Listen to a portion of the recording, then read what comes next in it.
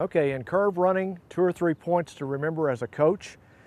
Number one, remind the athlete not to touch the line as if it were a snake. Stay off the line, stay three to four inches away from the white line. Shoulders are going to be square. Ears, head, neck, eyes, everything in line just as if we're running the straight. The arm action on the turn is the left arm is coming back, the elbow coming possibly a little bit to the inside.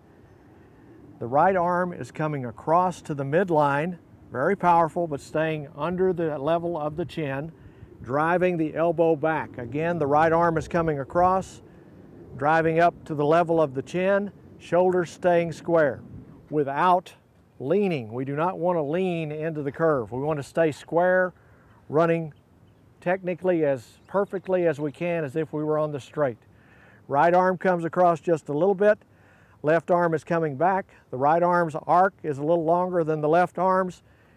And then we just smooth transition out of the curve onto the straight.